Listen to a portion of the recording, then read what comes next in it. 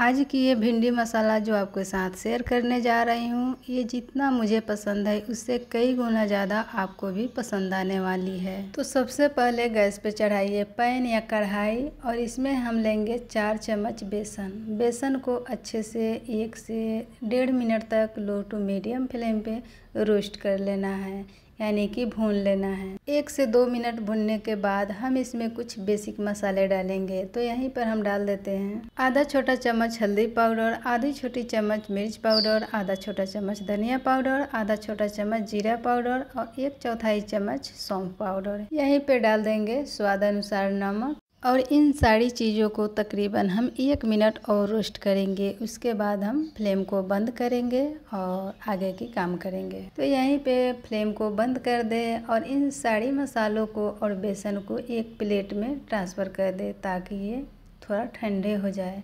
ठंड होने के बाद हम इसमें डालेंगे एक चम्मच सरसों का तेल और अच्छे से मिक्स कर लेंगे ताकि हमको ये भिंडी में भरना है मसाले को। यहाँ पर आप भिंडी को धोकर सुखा ले या सूखे कपड़े से, सूती का कपड़े से पूछ ले और उसके बाद आप कट करें। तो यहाँ पर हमने एक भिंडी को दोनों किनारों से कट करके हटा देंगे। उसके बाद बीचों बीच कट्स लगाएँगे। तो इस तरीके से आप फैला दें ताकि हमको मसाला भरने में आसानी हो जाए और भिंडी में मसाले भी अच्छे से भर सकें।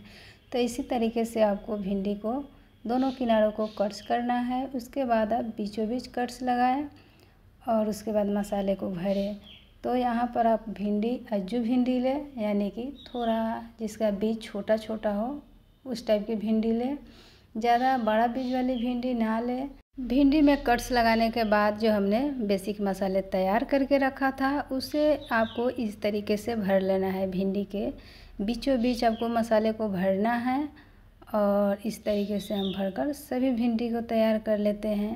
यहाँ पर आप गैस पर पैन चढ़ाए या कढ़ाई चढ़ाए और उसमें डालें दो से तीन चम्मच सरसों का तेल, जो आप कुकिंग ऑयल इस्तेमाल करते हैं, वो भी ले सकते हैं।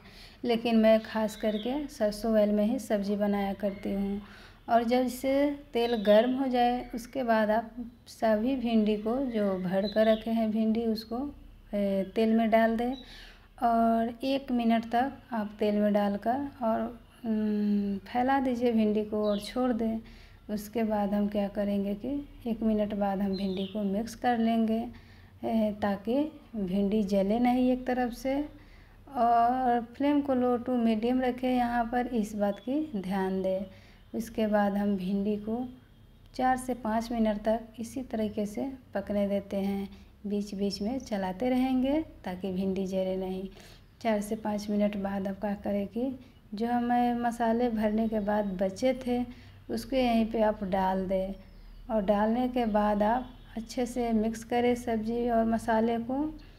और उसके बाद हम क्या करेंगे कि कवर करके इसको पकने देंगे।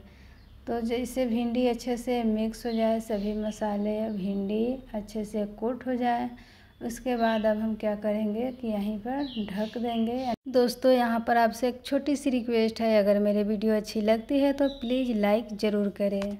कवर करने के बाद सात से आठ मिनट पकाएँ सब्ज़ी को। सात से आठ मिनट बाद आप देखेंगे कि भिंडी ऑलमोस्ट पककर तैयार हो चुकी है। इन भिंडी मसालों के साथ गर्मा गर्म रोटी या पराठा मिल जाए, मज़ा ही आ जाएगा। Bye bye take care